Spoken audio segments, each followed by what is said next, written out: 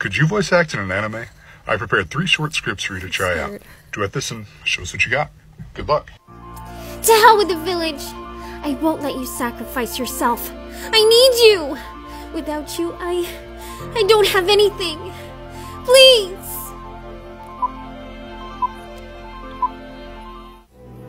I only allowed you to live this long because I found your heroic antics amusing. But you have outlived your value as my jester. I no longer have use for you. So this time, I won't hold back. How could you join them? You were my best friend! But look at yourself! You become a monster!